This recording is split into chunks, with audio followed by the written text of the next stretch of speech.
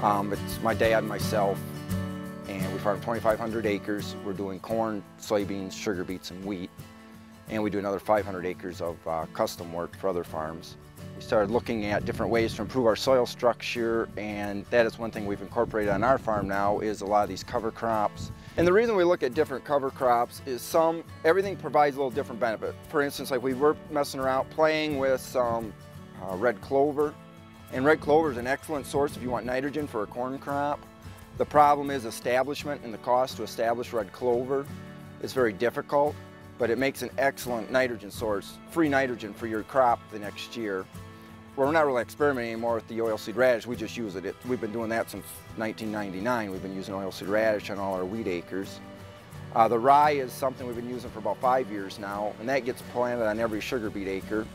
And next year we want to take it a step farther we're going to use rye on all our soybean acres as well. When the soybeans come off, we're going to put rye unless it's planted to white wheat. And then we're also looking at incorporating peas or an Austrian winter pea mix in with the oilseed radish and that's to, so the radish will have a benefit of the nitrogen. So we don't have to apply any bought nitrogen that way.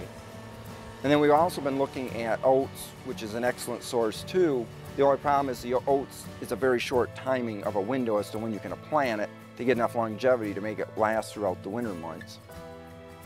And then we were looking at in this field experiment we're doing with MSU there, we're also looking at uh, Sudan grass, um, oats of course, rye.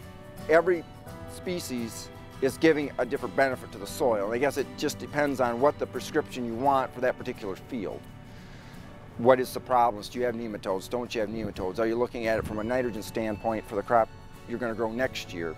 Or are you looking at just trying to break up the hard pan? You know, do you have a soil structure problem? So that's why we're looking at maybe you may want to use multiple species within one cover crop mix on a field.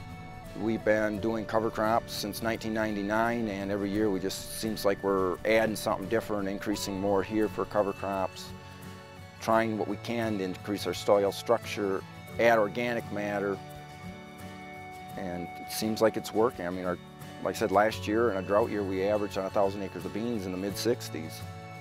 So I said things aren't too bad.